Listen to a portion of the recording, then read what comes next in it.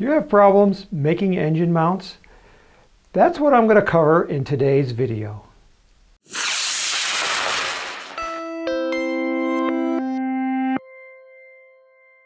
Hi, I'm Tim Van Milligan from Apogee Components. Today I'm going to cover the construction of an engine mount because I see a lot of people have problems, particularly putting the rings onto the tube. Um, this is the, the typical engine mount tube. Um, uh, you'll cut a slot into the tube, um, and that's for the engine hook. Uh, the engine hook is what holds the engine in the, in the tube. And this end right here goes into that little slot.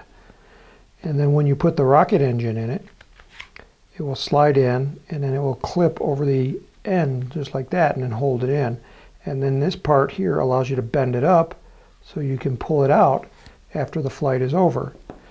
Now when you're putting the rings onto the engine tube, you can't put them on this way because it's not going to get over the lip of the tube. So the ring has to slide over this way, like that. And then you can slide it easily over the engine hook like that. Now if your rings are hard to put onto the tube, if you have a hard time getting them started, just take some sandpaper and sand out the inside of the ring. Like that. And that should help you to get it over the tube. Um, I like to take a wood dowel and glue the sandpaper to it. This is one of my favorite tools. I use it all the time and this allows me to, to sand out the rings and if I got a long rocket I can get way deep up inside. Um, before you put any glue make sure you have all your rings onto the tube because if you put glue around the perimeter of the tube it's not going to go on very easily. You're going to have a hard time and a lot of people I've seen crush the tube trying to get it on. So make sure your rings are onto the tube first before you apply glue. Now, another thing that you might have to do on your particular kit is to tie the shock cord onto the tube. Um, the reason we do it here is because the this is one of the strongest parts of the engine. Um, the engine in the back of the rocket is one of the strongest parts of the rocket, so it makes a really good anchor so it's not going to pull out. So what I do is I'll put it underneath the ring like that. And if you're having trouble troubles getting the ring over the top of the shock cord, take your hobby knife and just cut a V notch in the ring like this. You don't want to go all the way through. You just want it just to have a little notch where the shock cord can lay in and that makes it a little bit easier to slide it over to the over the tube like that. And what I'll do is I'll I'll wrap the shock cord around the tube and then I want to tie these together and I like to make a slip knot.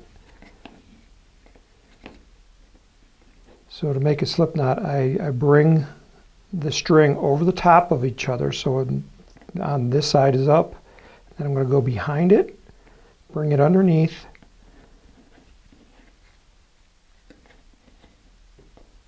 So I got like a simple loop right here. Then I'm going to bring it around this shock cord here and then back through the ring and then I'm going to pull tight. And if I do it correctly, it should slide. See how it's sliding? It's, it's slipping through the knot. So I can pull it tight up against the ring right here and then cinch it down real good. And at this point I can start gluing things up. Um, the forward ring, this is going to be the front end of the rocket. I like to put right at the front end of the tube. And then the back ring, I want to make sure I don't put it too far back onto the tube where I can't bend up the engine hook like that. So I like to put it at least a half of an inch back from the edge of the tube, so somewhere around there. So now I'm going to put glue on this. So I'm going to put glue around the perimeter. And then slide the ring up into the glue. And you got to do it in kind of a quick motion or it will sometimes grab. You can see there's a lot of excess glue there.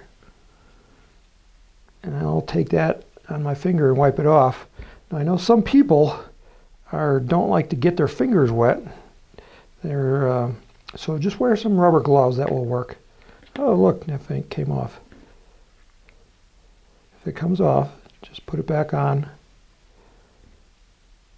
Put, put the shock cord through the ring. Get it into my groove. I got a fly buzzing around in the room and my dog is trying to catch it. Stupid fly. Okay, so um, now I'm going to slide the ring back out of the way. I'm going to put my band of glue right here on the perimeter.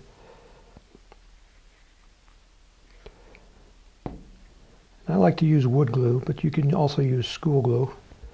That works too. And slide that up into the ring until it's flush with the end of the tube. Always have paper towels handy. Okay, so now my shock cord, I'm going to pull it tight.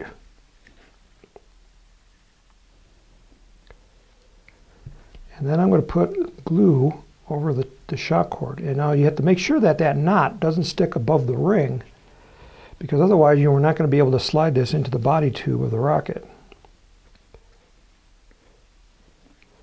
Okay, so I'm going to work that glue into that shock cord to hold it in position. Now, any glue on the outside on the ring, I want to wipe that off because again, that's going to make it harder to slide this into the rocket. Now there's one more ring, and that is this um, engine block ring, and that will slide into the tube and butt up against the part of the engine hook that protrudes inside the tube.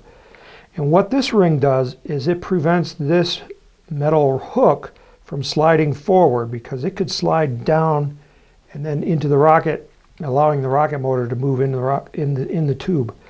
So I'm going to glue that ring into there. And you can take a cotton swab or a wood dowel, just put some glue on there. And then spread that in the tube. And then slide the ring in. And you got to do this in one quick motion or sometimes it will grab. So use a little extra glue in this spot. Normally I don't like to use extra glue but when I'm sliding rings through the tube, I'll use extra glue just so it lubricates things a little bit. And then have a rocket engine handy because this I'm going to use to push it in all the way up to the, to the uh, back of that engine hook. Just like that.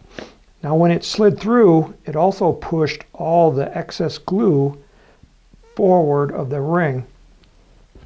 So I'm going to take another Q-tip and I'm going to go in there and I'm going to clean out the excess glue.